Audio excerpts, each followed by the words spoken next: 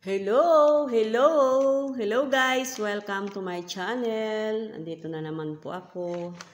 Uh, Mag-share po ako sa inyo ng mga napanood ko po sa mga ano mga video din tungkol po sa coronavirus kung paano kung ano po ang mga sintomas nito.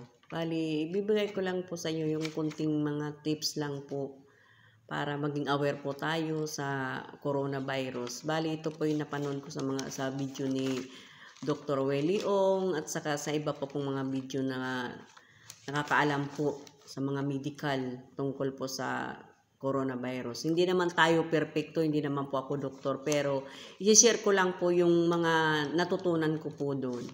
Bali po, yung mga, ang, yung coronavirus po pala, yung sintomas po pala niya, uh, kailangan lagi po nating obserbahan yung sarili natin. Maging aware po tayo kasi hindi natin alam, lalo na po yung nasa Pilipinas, napapabalita na rin na mayroon na din po. Pero wag po tayong magpapanik.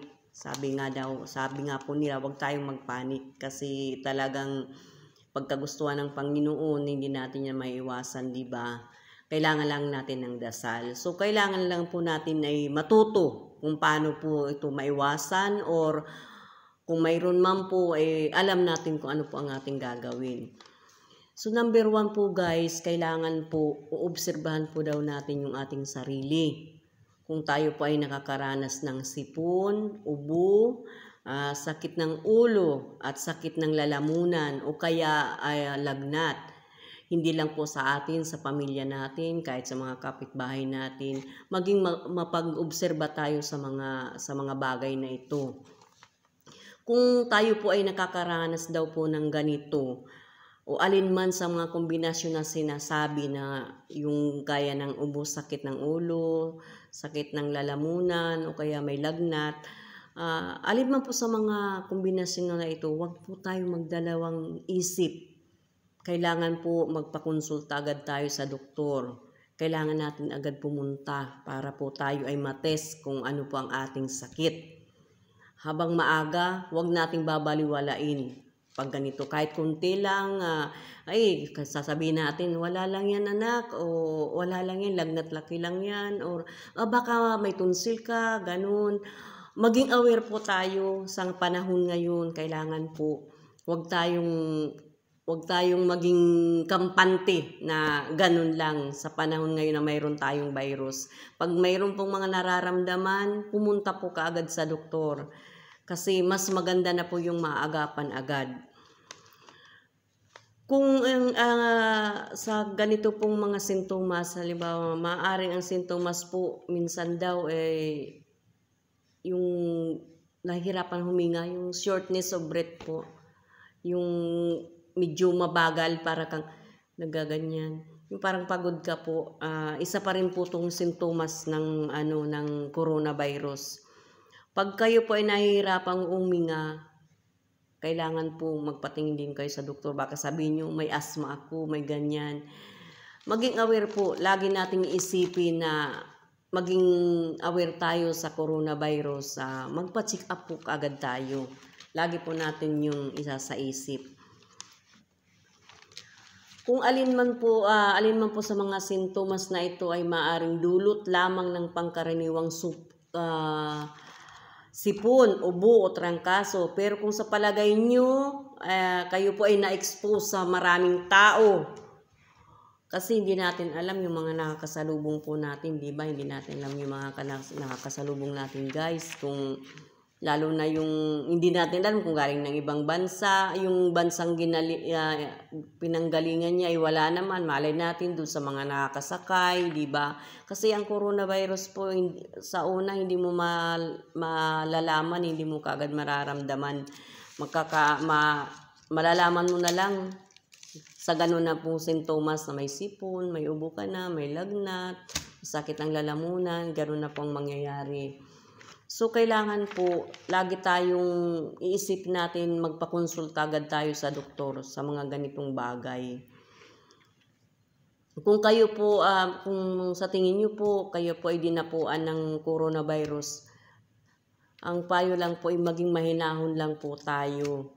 agad tayong sumangguni sa doktor ah, para ka, agad tayo ay matest at mabigyan ng tamang medical attention. At saka maging disiplina na rin sa sarili natin. Halimbawa, mayroon tayong ganyan.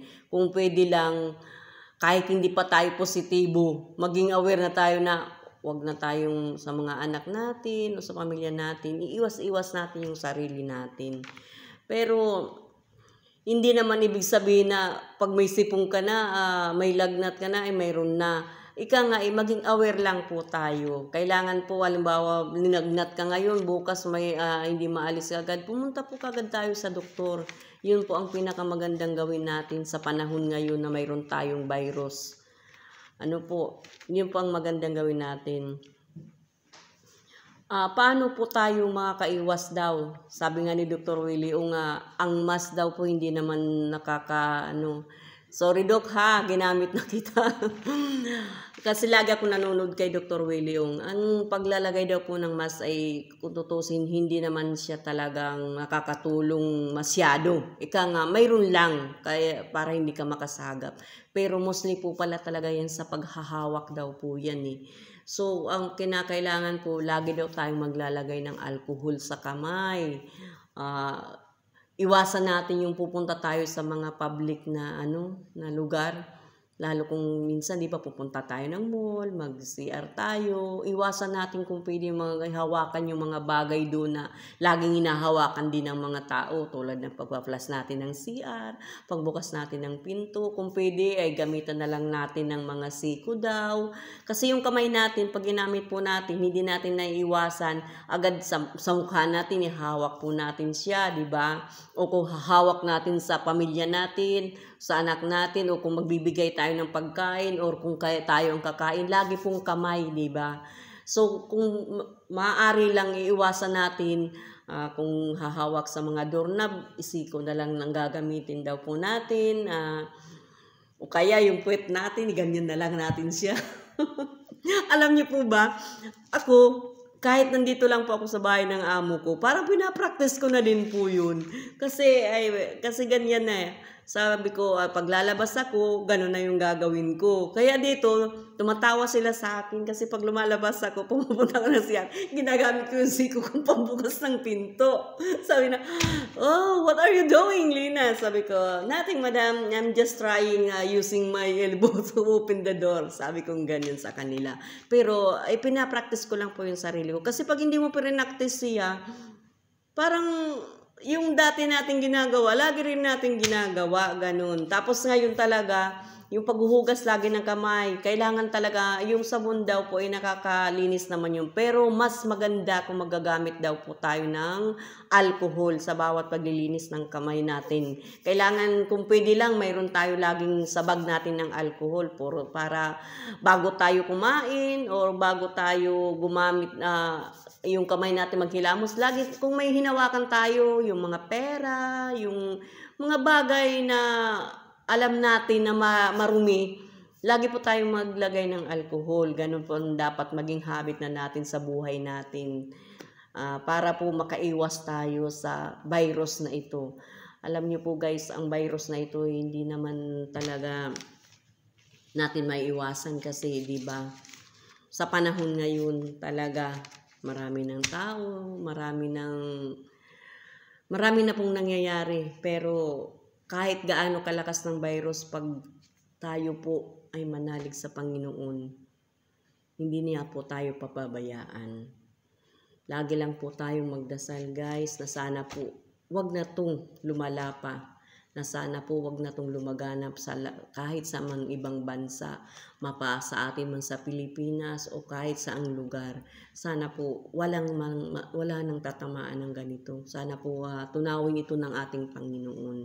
Yun po sana ang lagi nating ipagdasal, pagdadasal at sana ipagdasal din po natin yung mga lugar na lalo na ang China, ipagdasal po, isama natin sila sa panalangin natin na sana po paggalingin na yung may mga sakit na, na hawaan ng coronavirus at sana po bigyan ng malakas sa pangangatawan yung mga doktor, yung mga mga mga tumutulong po sa paggagamot nito. Sana po tulungan sila kasi pag sila pa po ang nawala, pag sila pang nadapuan, ay paano na po tayo, di ba? Kaya po sana sumunod talaga tayo sa mga tagubilin ng mga doktor kung anong dapat gawin natin. Ika nga ah, maging maging alerto rin po tayo, uh, tumulong din po tayo para sa sarili natin kung at maging sa kapwa po natin. So, yun lang po guys ang naisishare ko sa inyo sa konting kalaman. Sana po may, may naitulong rin po ako sa inyo. Sabi ko nga po sa inyo, hindi naman po ako doktor. Ano po, isa lang po akong OFW. Uh, ah, kaya lang po eh, gusto ko rin po makatulong, makabahagi dahil sa aking mga napanood na rin. Ano po, sa mga binase ko rin po sa mga napapanood ko, ang mga pinapaalam ko po sa inyo, kinikwento ko sa inyo. So guys, thank you po ha. Ika nga, uh, manalig lang po tayo sa Diyos lagi. Hindi nila tayo pababayaan kahit gaano kalakas ang coronavirus. Salamat po sa panunod nyo. Uh, pakisubscribe na lang po ang aking channel. Thank you very much guys. Good evening po.